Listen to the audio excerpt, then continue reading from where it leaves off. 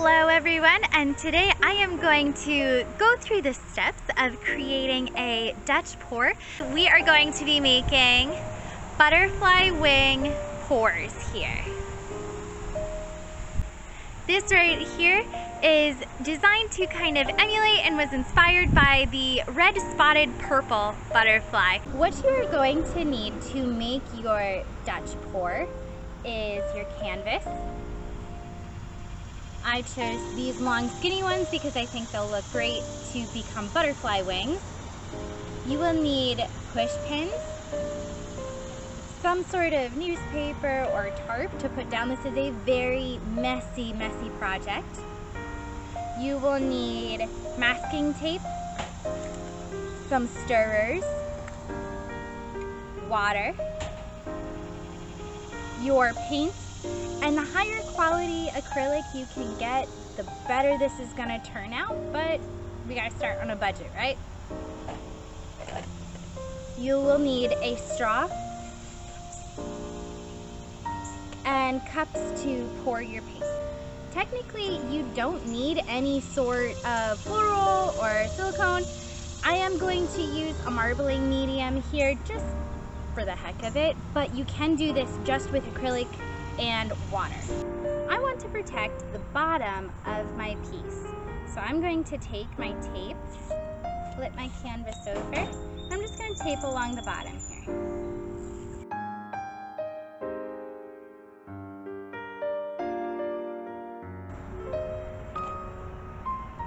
Now I'm going to take my push pins and stick them into the corners of these wooden frames here to help lift it off the ground and make it level pin.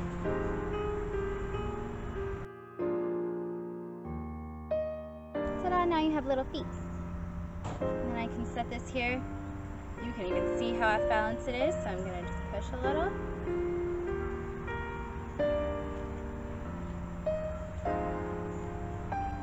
Want those feet not to rock.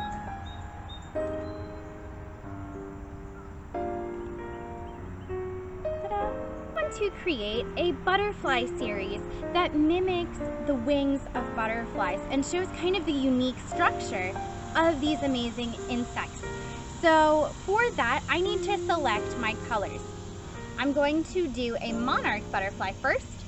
So I'm choosing an orange, a metallic bronze, white, and black.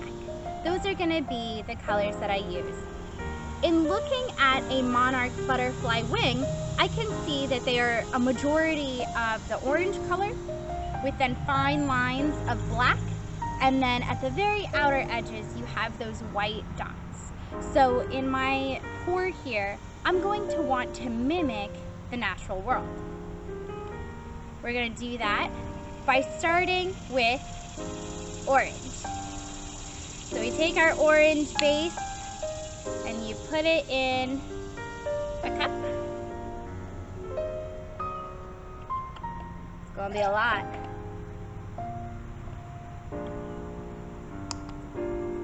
And now I'm gonna add just a bit of water.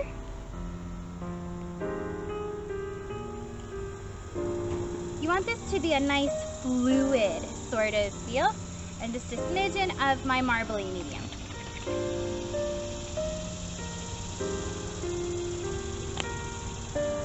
You stir.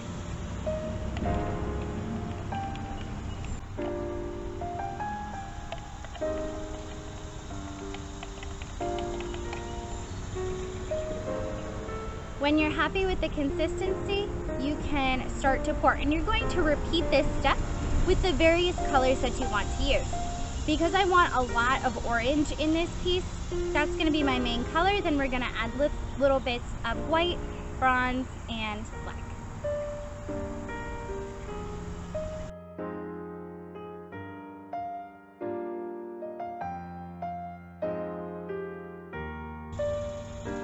While this is very flat and I've used my push pins to kind of elevate my canvas a little, I am gonna start to tilt.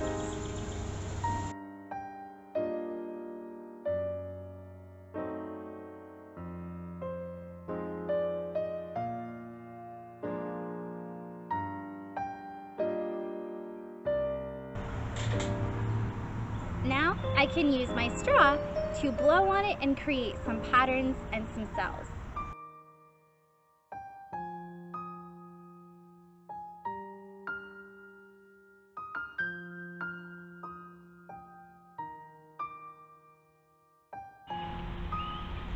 So I can see that I'm missing a spot right there.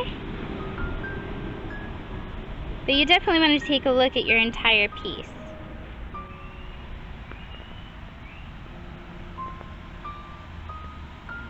Now, to make this look more like a monarch butterfly wing, I want more of these like lines of black that go through the piece and more of these splotches of white at the top. So I'm going to continue pouring to make it look more similar. Now for this one, I want it to look like a red spotted purple. So kind of contrary to the name, there's not really any purple in this. It's going to be very similar to the Monarch, um, but with some blue this time. Much more black in color.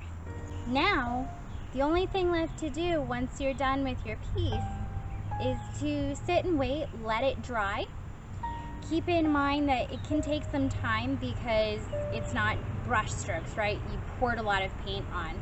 So you want to let this sit and dry for a good amount of time before you try to touch it or manipulate it.